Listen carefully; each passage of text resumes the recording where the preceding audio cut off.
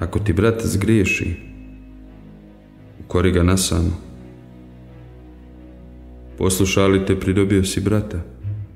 Ako te ne posluša, uzmi sa sobom još jednog ili dvojicu, da se svaka tvrdnja temelji na iskazu dvojice ili trojice svjedoka.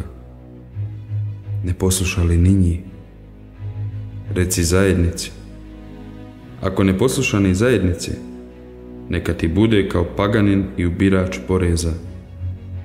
Zaista vam kažem, šta god svežete na zemlji, bit će svezano na nebu i šta god odriješite na zemlji, bit će odriješeno na nebu.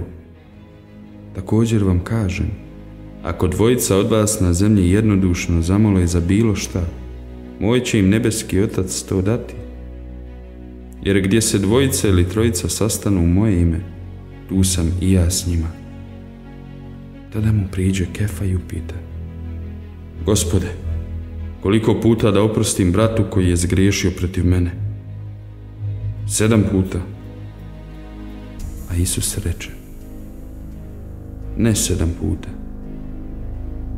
već sedamdeset puta sedam.